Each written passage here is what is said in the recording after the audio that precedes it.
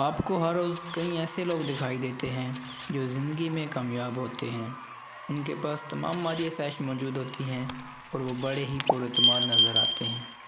ऐसा मालूम होता है कि जैसे ये लोग हर किस्म की मुश्किल पर काबू पाने का हौसला और आज़म रखते हैं। आपको यकीनन जान के हैरानगी होगी कि इनमें से काफ़ी अफराद ऐसे हैं जो अपने माजी में काफ़ी शर्मीले थे और इनमें खुद अतमादी की शदीद कमी थी।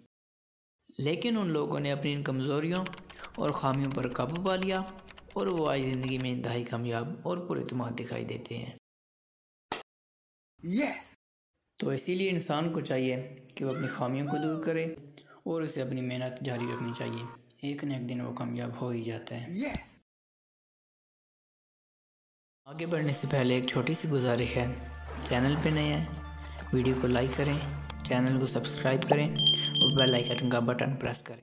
इस वीडियो में मैं आपको बताऊँगा कि आप अपनी एहसासी कमतरी शर्मीलेपन और मायूसी जैसी खामियों को कैसे ख़त्म करके अपने अंदर खुद एतमादी पैदा कर सकते हैं और एक कामयाब इंसान बन सकते हैं। जो शख्स ज़िंदगी में कामयाबी हासिल करना चाहता है तो उसके लिए ज़रूरी है कि वो लोगों से मेल मिलाप रखना और दोस्त बनाना सीखे और इसके दरमियान अपने शर्मीलेपन को हाइल ना होने दे। जबकि दूसरी तरफ़, अगर आप अपने शर्मीलेपन, एहसासी कमतरी और मायूसी जैसी बीमारी से नहीं निकलेंगे तो आप ज़िंदगी में तो कामयाब हो नहीं सकते। और इसी तरह अगर आप लोगों से दूर रहेंगे और ख़ुद को अपने घर, अपने कमरे तक ही महदूद कर लेंगे तो आप जल्द ही डिप्रेशन का शिकार हो जाएँगे, जिसकी वजह से आपको अपनी ज़िंदगी बेमकसद सी लगने लग जाएगी और आपकी ज़िंदगी की तमाम तारोनगे ख़त्म हो जाएँगी।